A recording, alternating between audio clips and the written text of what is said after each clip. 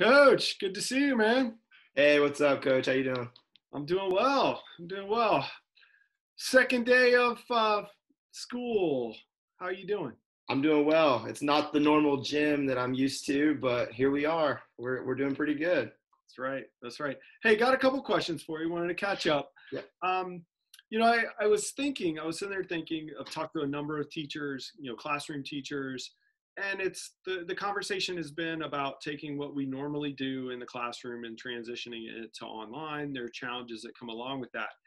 Um, those teachers have all been, you know, lead teacher, classroom teachers.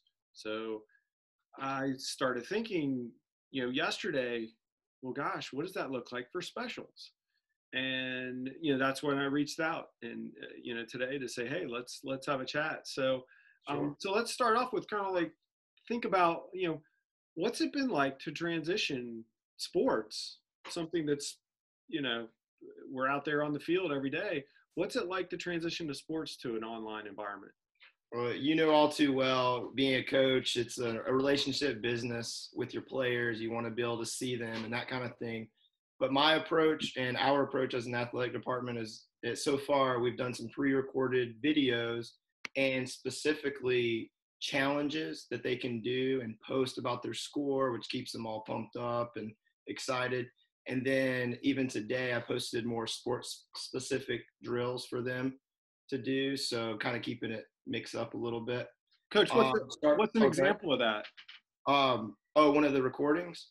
Well, Yeah, the first one that we today. did was the jumping jack challenge. So basically, you put one minute on the clock. I had them do it three times. So three minutes of activity. And let me tell you, I did it and I was wore out. So, um, what happens is every three jumping jacks you do, you get to do two bottle flips. If you ever have the water bottle and you see the kids flipping it, you know, they love to do that. Some of the teachers don't like it so much, but in a sports setting, I thought it'd be fun. Um, and anyways, they post a score every time they land a water bottle, they get a point. So gets them doing jumping jacks real quick and then being able to score. So that was our first little challenge. I think they really enjoyed it. And then to approach the business side where, you know, want to see the kids and that kind of thing, we had the idea of doing small group lunches. And actually, Friday, I began with the eighth graders. I thought that would be fitting.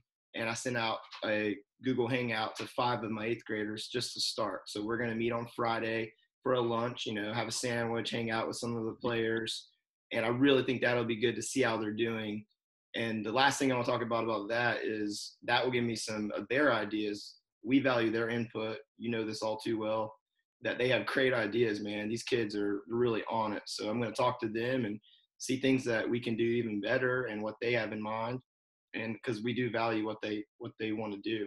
So I think Friday we'll begin that. That's already planned. I'm really excited. Cool, coach. What um, what's you know, what's the biggest challenge for you right now with you know making this transition?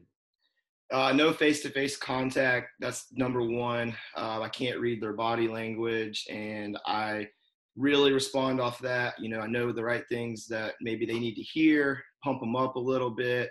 You know, maybe they're having a tough day. It's hard for me to see that. So that's my number one challenge. Um, I'm hoping that these videos, uh, video lunches, are going to really help.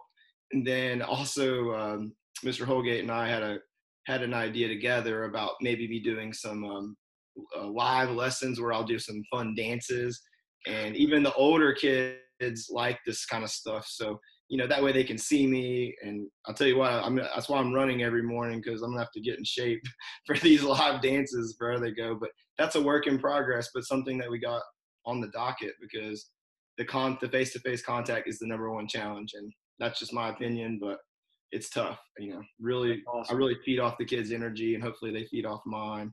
So we'll, we'll do the best we can with what we got. That's awesome. Have you have you had a big win yet?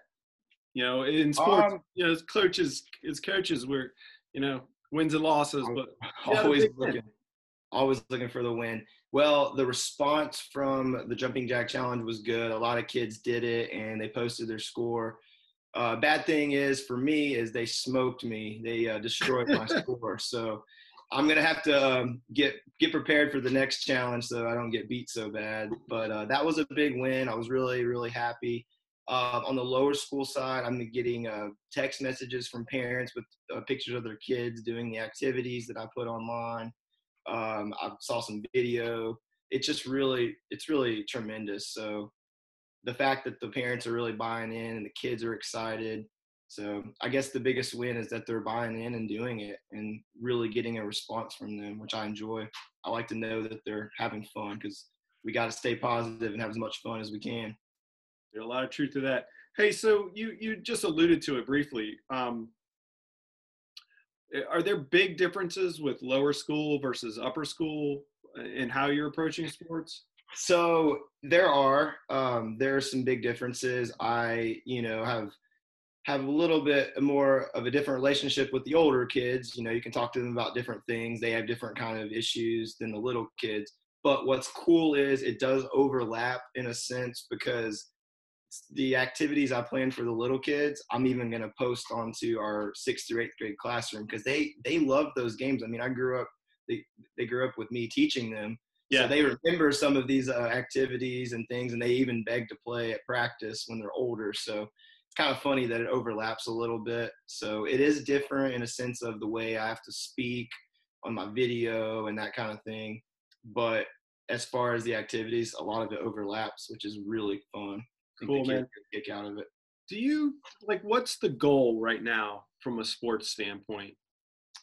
My my goal, and I think as from the athletic department we meet each week, is activity, activity, activity. Get them moving, get them finding things that they enjoy. We've um, tried to keep it simple, Coach. I mean, you know, the bells and whistles are awesome, and you know, we, we'll get more in depth as this goes on, but we keep it simple. You know, we, we got a hike across America going on with the upper school and the fourth and fifth graders. will Ever, everybody works together. So it's quite simple. You just log your steps each each day when you exercise. Cool. Um, and then you know we just put those little challenges out where they can have a measurable goal, so they can post on the classroom what their score was, and then kind of compete with each other. And I think I, I said earlier that they were beating me, so it's fun for me to go against them. And even though we're not together in person, we can still have that little daily challenge for each other. And I, am sure the other coaches will get involved in that soon. So it's it's really it's really cool. That's awesome. What what kind of feedback have you received so far? Yeah, and I, I mentioned some of the feedback we got um, so far was a, a, lot of the kids are commenting with their score, uh, things like that. I've gotten parents with emails of video of their kid doing these specific, specific activity that I designed for them. And then even the text message just came in an hour ago. It was a um, little first grader playing outside and really just I love that I have that relationship with the with the kids and they want to share with me, which is really cool. So yeah, think that's that's, that's good stuff, man. That is good feedback we're getting, and of course it'll continue to get better and better. We're keeping it simple. I think the parents are liking that, but you know we'll we'll get creative too and have some fun. That's awesome. Any other any other thoughts, big man? Man, I, am just I'm I'm making it as fun as possible. You know, want to keep the kids active. I'm I'm really really you know taking it in this week. So the first week I, I have to say has been a success, even though it's only Tuesday. So I would say so far so good, man.